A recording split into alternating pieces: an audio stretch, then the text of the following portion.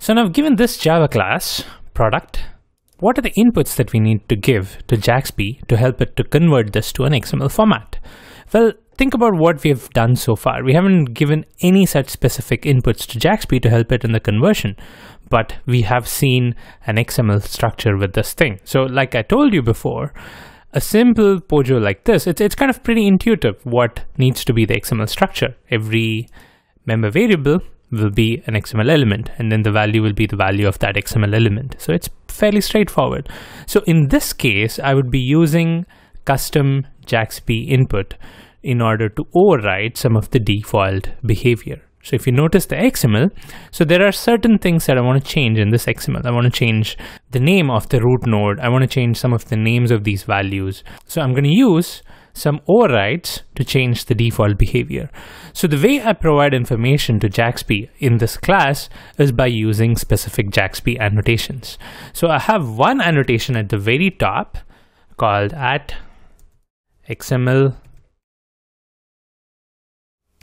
root element, which tells JAXB that this is actually the root element of the XML. So I can import from JavaX XML bind annotations. So notice the word bind in the package. That gives the indication that this is actually a JAXB annotation because it's actually a binding API. So I import this and now this has been declared as a root element.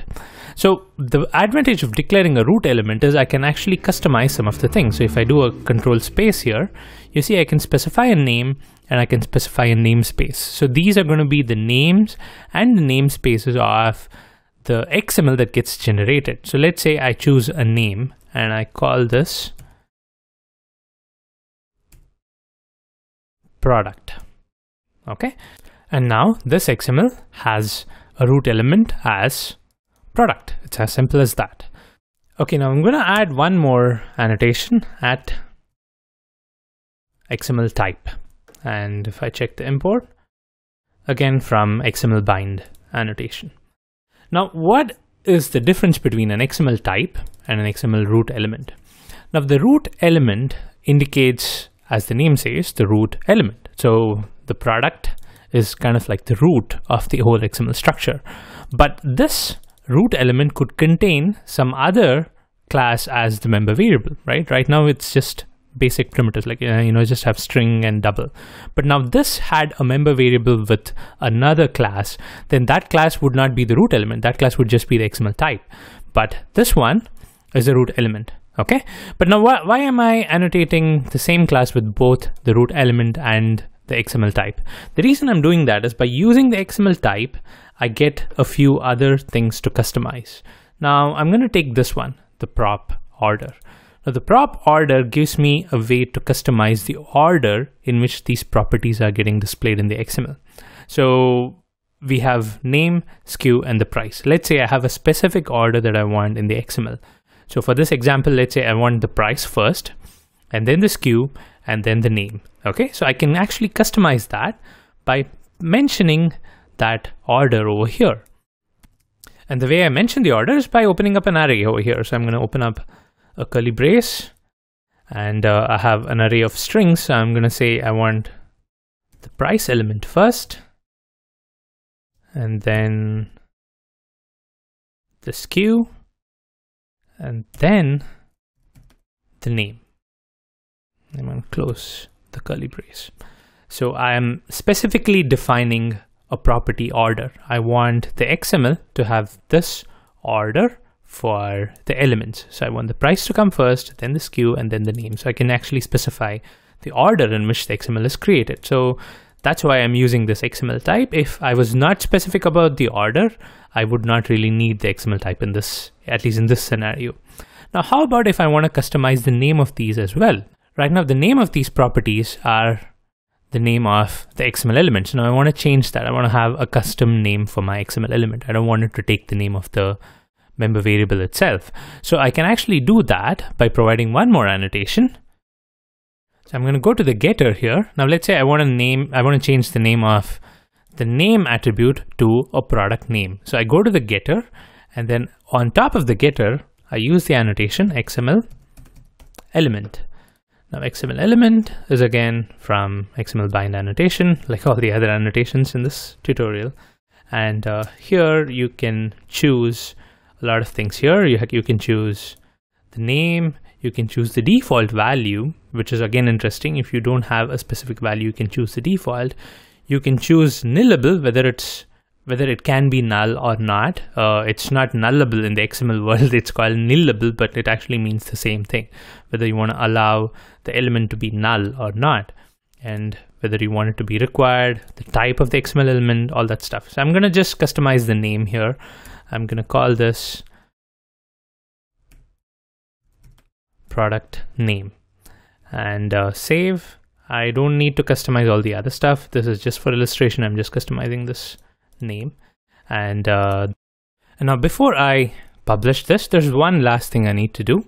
When you annotate any class with these XML overrides, with these JAXB annotations, you need to make sure that it has a public no-arg constructor. You notice here that I have a constructor which takes certain arguments. So we need to have a no-args constructor. Why do we need that?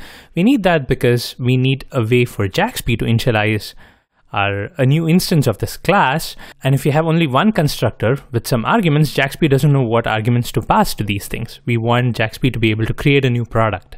And if you have uh, a constructor with arguments, if we don't have a no-args constructor, JAXB will not be able to create a new instance of product. So in order to let uh, that happen, we are going to create a new constructor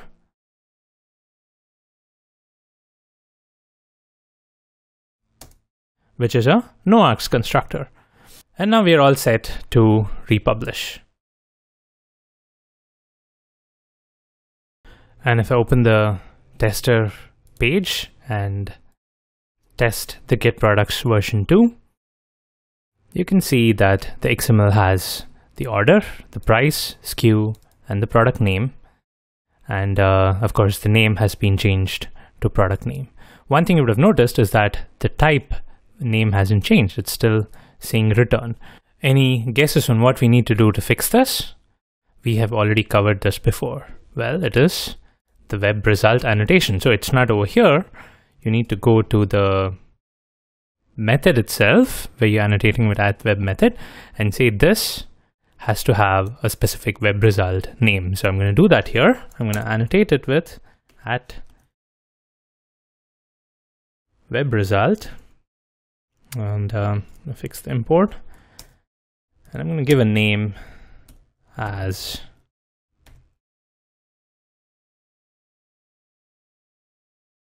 product and republish. And now if I call the same method you see the header is now product Okay, so in this tutorial, we looked at ways to customize the XML that gets generated when we have a custom class or a custom object that we are returning as a web service return type.